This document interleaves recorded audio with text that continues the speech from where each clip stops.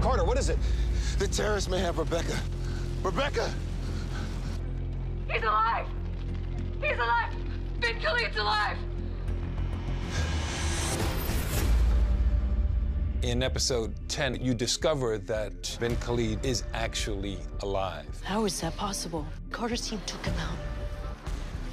His body was never recovered. Forensics found DNA traces, but they could have got it wrong. We continue our thread with Naseri, this very intimidating and very scary terrorist operative, essentially. She does not get to die quietly, Naseri. We do what we planned. So Carter finds out the director of national intelligence has Naseri's daughter in a safe house. She's been kept in a safe house for the past year, and it's been part of a Black Ops mission to leverage Naseri. Carter and Donovan team up in hopes of leveraging her to get Rebecca back. We know what you did to Naseri's daughter. You come in! You